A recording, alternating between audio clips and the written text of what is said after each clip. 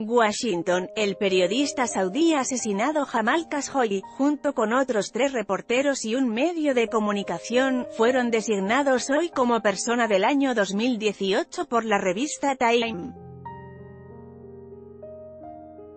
Este año estamos reconociendo cuatro periodistas y un medio de comunicación que han pagado un terrible precio por encarar los desafíos de este momento.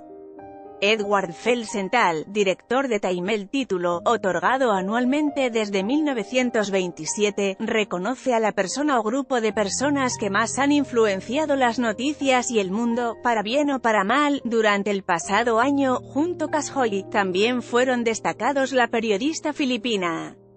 María Reza, editora del portal de noticias Rappler, muy crítico con el presidente filipino, Rodrigo Duterte, y los reporteros de la agencia Reuters Wallone y o detenidos por las autoridades de Birmania mientras investigaban las atrocidades cometidas contra la minoría rohingya.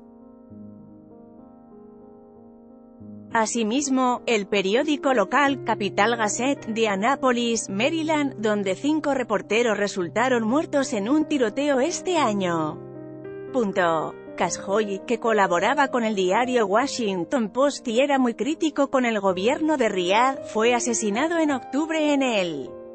Katalarasati and Istanbul, como todas las virtudes humanas, la valentía nos llega de diferentes maneras y en diferentes momentos, agregó Felsenzalos integrantes del movimiento.